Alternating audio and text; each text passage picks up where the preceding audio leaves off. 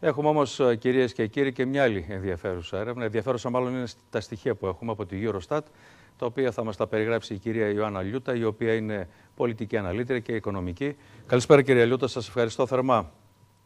Εγώ σας ευχαριστώ. Είναι ένα δημοσίευμα των ε, Financial Times, το οποίο για μία ακόμη φορά, ε, σύμφωνα με τη Eurostat, κατέχουμε την πρώτη θέση. Είμαστε πρωτοαθλητές στις δαπάνες της στέγασης, στις, ε, στα ενίκια, στη διατροφή, στα φορολογικά βάρη, πάντα σε συνδυασμό ε, με τα εισοδήματά μας, τα πεντιχρά εισοδήματά μας, τα έργα. Ε, πόσες έρευνες να πούμε, δεν χρειάζεται Πόσα άλλα να δούμε. Κοιτάξτε, ε, τι διαφορά έχει τώρα, έτσι όπως βλέπουμε τον πίνακα, τον βλέπετε κι εσείς, ε, κυρία Λιούτα, τι διαφορά έχει η Ελλάδα με τις υπόλοιπες χώρες. Κοιτάξτε, που είμαστε στην πρώτη σειρά. Κοιτάξτε, είναι τεράστια διαφορά.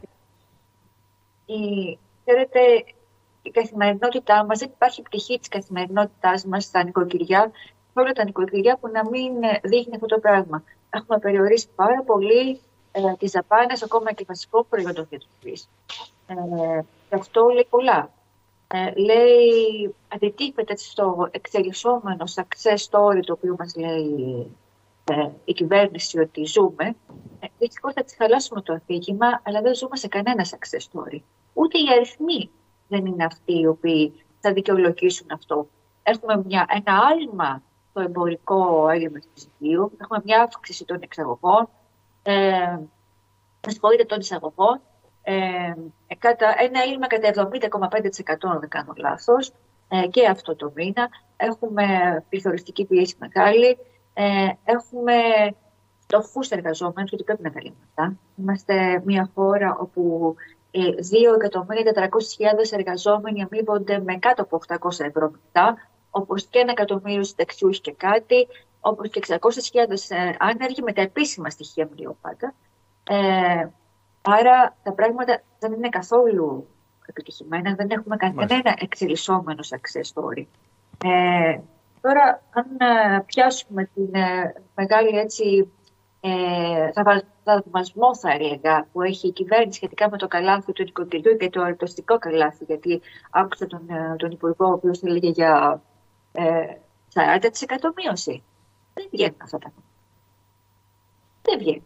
Δηλαδή, άντε να βγαίνει 10%. Δεν βγαίνει και δεν είναι καμιά κοινοτυπία, ξέρετε, δική μας. Έχουν κάνει οι Γάλλοι, ε, παρακαλώντας του βέβαια και εκεί ο Μακρόν με τον Υπουργό Οικονομικών, ε, στις μεγάλες αλυσίδες και το Carrefour, ας πούμε, είχε, είχε κάνει μια καμπάνια 30 προϊόντα στα 30 ευρώ. Αλλά και εκεί, αν το δούμε πιο προσεκτικά, θα δούμε ότι τα προϊόντα αυτά δεν φορούν καθημερινά φρέσκα προϊόντα. Ναι. Αλλά φορούν συσκευασμένα. Άρα, από όπου και να το πιάσουμε, είμαστε πάρα, πάρα, πάρα πολύ δύσκολα. Είμαστε ουραγοί στο να έχουμε κάποια εισοδήματα, αλλά είμαστε πρωταθλητές όταν βάζουμε το χέρι στην τσέπη. Και φαίνεται ξεκάθαρα για, το, για, το, για, τα, για τη στέγαση ότι είμαστε ακριβότεροι στην ενέργεια, είμαστε ακριβότεροι στο νερό, ακριβότερες περισσότερες δαπάνες ακόμη και στην αποχέτευση. δεν έχει μείνει κάτι. Αυτό δεν λέει ουσιαστικά. Αυτό λέει. Δεν έχει μείνει κάτι. Το μόνο στο οποίο έτσι, ε, έχουμε ένα success story από την κυβέρνηση, ε, έτσι και θέλω να το πω, είναι στις ε, μειώσεις μισθών και συντάξεων και στην εμφανή κοροϊδία την οποία κάνει αυτή τη στιγμή και στους συνταξιούχους. Και φυσικά τη μόνη αύξηση την οποία έχουμε είναι στη γενετική βία. Έτσι, η καταστολή είναι καθημερινή, ε, πλέον έχει ξεπεράσει κάθε όριο. Ε, έχουμε, ε, συγγνώμη έτσι που το μεταφέρω, αλλά είναι πολύ σοβαρό θέμα. Γιατί έχουμε, μία, ε, έχουμε αστυνομικούς οι οποίοι είναι εκπαιδευμένοι, γιατί εκπαιδευμένοι είναι, δεν θέλω να ακούω ότι δεν είναι εκπαιδευμένοι, ε, στο να χτυπούν ακόμη και τον πατέρα του 16χρονου. Ναι, η συγκεκριμένη, δηλαδή, η, η, η, συγκεκριμένη αστυνομική, για να σας ενημερώσω μέσα από το ρεπορτάζ ναι. που είχαμε στη διάρκεια της εκπομπής, ε, τον κύριο Βαγγέλο, ο οποίος είναι μέλος του Διοικητικού Συμβουλίου της Ομοσπονδίας των Αστυνομικών, είπε ότι η συγκεκριμένη αστυνομική ήταν πάρα πολύ έμπειρη, πάρα πολύ έμπειροι και καλά εκπαιδευμένοι. Δεν ήταν απέδευτοι, δεν ήταν δηλαδή πρόσφατοι ή κάποιοι που προέκυψαν, όπως ξέρουμε, από ρουσφέτια μεσορυνοφύλακε, αυτά που συζητιόνται και στυλιτεύονται δεν είναι, είναι εκπαιδευμένοι και είναι εκπαιδευμένοι στο εξής. Να υπηρετούν και να εξυπηρετούν μια συγκεκριμένη πολιτική. Αυτή είναι η αποστολή τους. Και αυτή δεν είναι, η, δεν είναι να προστατεύουν τον πάλι τον πολίτη. Είναι να υπηρετούν και να εξυπηρετούν και πάλι την πολιτική της δεξιάς κυβέρνησης. Γιατί αυτό το οποίο ενδιαφέρει αυτή τη στιγμή η Νέα Δημοκρατία, ε, ναι, κυρίες και κύριοι, είναι το εξής. Είναι θέλει να κλείνει το μάτι, θέλει να γίνει αρεστή Και σε αυτό το ποσοστό το ακροδεξιό, το οποίο ε, φλερτάρει με τον Βελόπουλο, πιθανόν και με τη Χρυσή Αυγή, με τον Κασίδια. Θέλει αυτό το ποσοστό και εκεί θέλει να γίνει αρεστή. Η, η μικροαστή, η οποία έχει το μαγαζάκι του, κοιτάζει τη δουλειά του, τους έχει κατοχυρωμένους. Δεν ασχολείται με αυτούς. Βέβαια και εκεί υπάρχει ένα θέμα. Θέλει να δείξει ότι προστατεύει, αλλά αυτό το οποίο την απασχολεί είναι αυτό το ποσοστό. Και δεν είναι μόνο δικό μας φαινόμενο, που σας το πω. Η, η μετάλλαξη, η μετατροπή της δεξιάς σε ακροδεξιά συμβαίνει στην Ευρώπη. Ε, στη Γαλλία, στην Ιταλία, στη, στη Σουηδία ακόμη, ε, στη Λιθουανία. Ε, αλλά δεν το συζητάω για τη Γερμανία και την, ε, και την Αυστρία.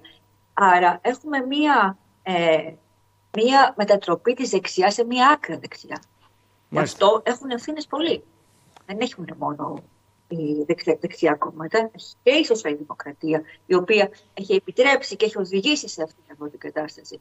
Να έχουμε δηλαδή μια άνοδο της ακροδεξιάς, η οποία η ακροδεξιά αυτή τη στιγμή φαντάζει ως αντισυστημική. Ναι. Για να βάλω στην κουβέντα λίγο τους συναδέλφους, τη Δήμητρα, τη Μακρύ και τον Νίκο το Σπιτσέρη. Ξεκινάμε με τον Νίκο. Νίκο. Κύριε Ελιούτα, ναι. Να συμφωνήσουμε ότι τα πράγματα στην οικονομία δεν είναι ρόδινα, αλλά ε, η κυβέρνηση έχει να επιδείξει κάποιες επιτυχίες με επενδύσεις μεγάλων κολοσσών. Αναφέρω ειδικά τη Pfizer και την Google που επέλεξαν την Ελλάδα για να δημιουργήσουν κόμβους.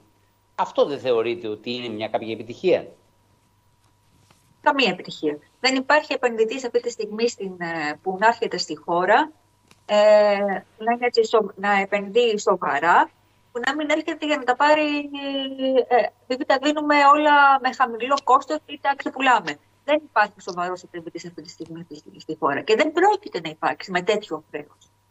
Με τέτοιο χρέος που είναι 400% του ΑΕΠ και το δημόσιο και το ιδιωτικό χρέος, το οποίο δεν μπορεί να εξυπηρετηθεί, το ξέρουμε όλοι πολύ καλά, δεν υπάρχουν.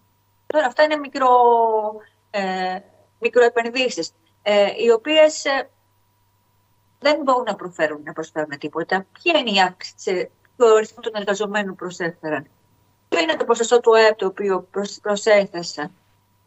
Για ανάπτυξη μιλάμε. Η ανάπτυξη τους αριθμούς δεν συμβαδίζει η ανάπτυξη. Υπάρχει υποανάπτυξη. Ακόμη και αυτό που έχουμε. Υπάρχει ένα ξεπούλημα. Κύριε ένα τεράστιο Κύριε Λιώτα, επειδή είστε και οικονομολόγος, αυτό που έχουμε. Το τι έχουμε δεν είναι ανάπτυξη, είναι μεγέθυνση. Διότι αυτό που υπάρχει πάει σε συγκεκριμένα οικονομικά συμφέροντα, στους πλουσίους, πολύ πλουσίους, και οι μεσαίοι γίνονται φτωχότεροι και, και οι φτωχοί να μην πω τι γίνονται. Άρα αυτό είναι μεγέθυνση, δεν είναι ανάπτυξη. Ανάπτυξη σημαίνει ότι μας αγγίζει όλους, όποιος ρυθμός. Δήμητρα Μακρύ και κλείνουμε. Δήμητρα Μακρύ και κλείνουμε. Ναι. Σε ό,τι αφορά τη στέγαση, κυρία Λιούτα, και εκεί έχουμε πολύ μεγάλη ε, ακρίβεια και εκεί έχουμε ε, και πολύ μεγάλη ζήτηση. Ε, είναι αντίστοιχη της ζήτησης η, η προσφορά στη στέγαση.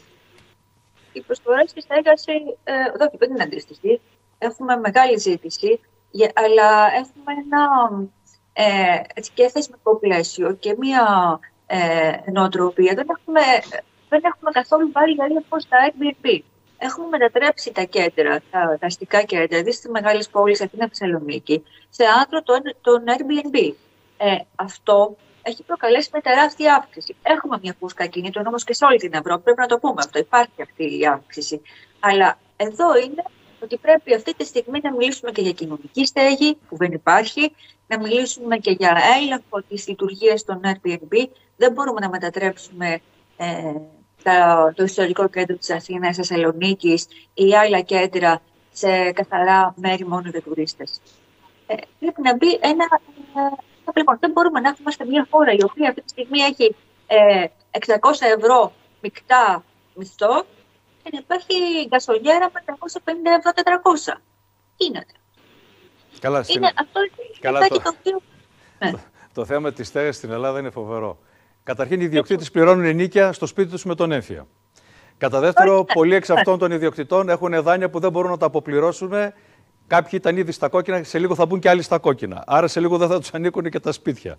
λοιπόν, και να, άμα συνεχίσουμε, εντάξει, δεν θα μείνει τίποτα. Λοιπόν. αυτό που δείχνουν είναι το εξής. Όσο πιο πολύ αυξάνονται κόκκινα δάνεια, γιατί αυτό γίνεται με την, και θα γίνει και με την αύξηση των επιτοκίων. Ήδη μιλάμε για μια ε, αύξηση τεράστια που θα γίνει τώρα, με 10,75% 15 Δεκέμβρη. Όσο αυξάνουν λοιπόν, ε, αυτός θα αυξάνονται τα κόκκινα δάνεια, θα αυξάνονται ε, οι πλησιασμοί, θα αυξάνονται οι πωλήσεις των κόκκινων δανείων. Κάποιοι θα γίνονται πλουσιότεροι, αυτοί δεν είμαστε εμείς, και κάποιοι θα γίνονται φτωχότεροι, αυτοί είμαστε εμείς. Αυτό, αυτό, ε, αυτό, αυτό, αυτό, είναι, αυτό είναι μεγέθυνση. Αλλά και πάλι θέλω να πω το εξής, ότι είναι καθαρά θέμα δικό μας. Πρέπει να στηρίξουμε και να επιλέξουμε πολιτικές οι οποίες ε, έχουν πρωτεύον τον άνθρωπο και την πρόνοια και την κοινωνία. Δεν μπορούμε να έχουμε πολιτικές που ξεκάθαρα, εντελώς ξεκάθαρα έχουν ε, συμφέροντα και ε, μεγάλο επιχειρηματίε. Ναι. Δυστυχώς έχουμε και εμείς ευθύνη σε αυτό. Να είστε καλά, κυρία Λιούτα. Σας ευχαριστώ θερμά.